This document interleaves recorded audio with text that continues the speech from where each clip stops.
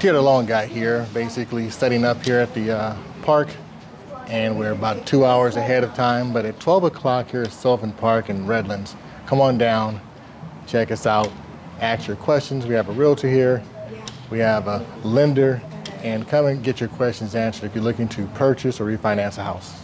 Talk to you soon.